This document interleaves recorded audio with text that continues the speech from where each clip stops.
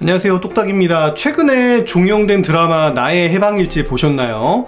저도 참 재밌게 봤는데요. 그런데 이 드라마를 보면서 한 가지 걱정되는 점이 있었어요. 바로 손석구 씨가 열연한 구 씨라는 캐릭터가 술을 엄청 많이 마시잖아요. 김지원 씨와의 관계가 발전돼 나가면서 술병 가득했던 방도 치우고 술을 좀 줄이려나 싶었는데 음주 습관은 크게 바뀌지가 않았죠. 하루에 두 병 이상을 거의 매일 먹는 모습으로 그려졌는데요. 이렇게 술을 마시면 사람의 몸, 그중 간은 어떻게 변할까요? 먼저 간은 여러분들 알고 계시듯이 침묵의 장기입니다. 심하게 손상이 되기 전까지는 어떠한 신호도 보내지 않거든요. 그런데 증상이 나타났다? 그렇다면 간 손상이 꽤 진행된 것이죠. 그럼 간 손상이 됐을 때 어떤 증상들이 있을까요?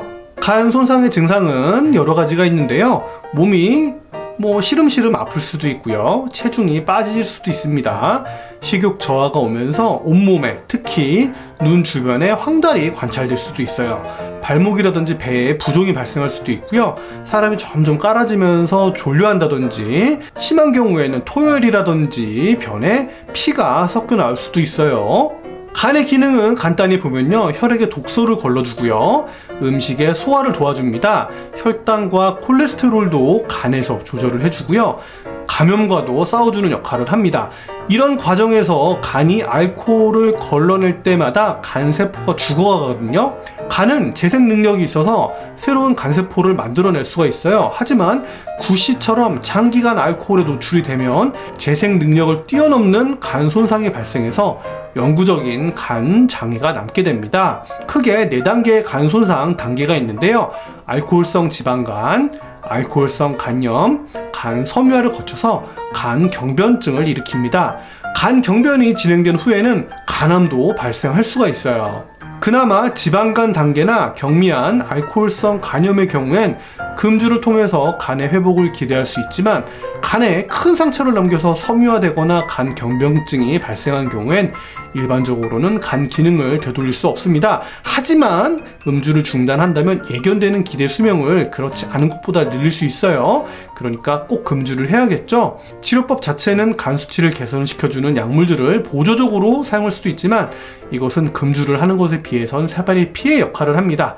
금주가 최선의 치료이자 최대의 효과를 보이는 치료이며 만약 술을 끊기가 너무 어렵고 알코올 의존에 빠졌다면 소화기내과 정신건강의학과 상담을 통해서 단주 치료를 병행하는 것도 좋겠습니다. 결국 간이 제 기능을 하지 못하는 상황이 된다면 간 이식으로 넘어가야 하는데요. 이식이라는 것도 공여자가 있어야 하고 돈도 많이 들기 때문에 쉬운 일은 절대 아니죠.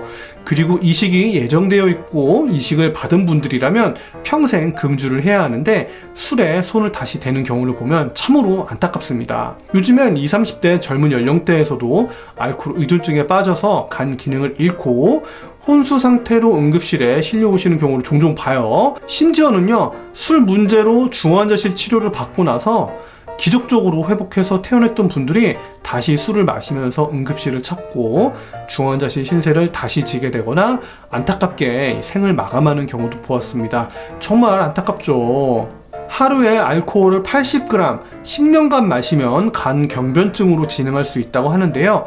소주 한 병에 약 50g 정도의 알코올이 함유되어 있으니까 소주로 따지면 한 병 반 이상을 10년간 매일 마시면 간 경변으로 진행할 수 있겠네요. 물론 이것도 사람에 따라 다르겠습니다. 나의 해방일지에서 구씨는 하루에 두병 이상을 꾸준히 마시고 있지만 얼굴빛도 좋고 근육도 많아 보이는데 실제 환자의 모습은 얼굴빛이 검고 마른 체형인 경우가 많아요. 간 손상의 합병증으로는요 정맥류 출혈이라든지 뇌에 독소가 축적되면서 뇌 병증이 발생할 수 있고요 신부전과 함께 복수가 찬다거나 다리, 팔다리가 부을 수 있습니다 그리고 마, 앞서 말씀드렸듯이 간암으로 진행할 수 있고요 감염에 취약해서 감염으로 사망할 수도 있겠어요 구씨도 하루빨리 금주에 성공해서 술로부터 해방되었으면 좋겠네요. 오늘은 알코올에 의한 간 질환에 대해 알아봤습니다. 건강하세요. 똑딱이었습니다.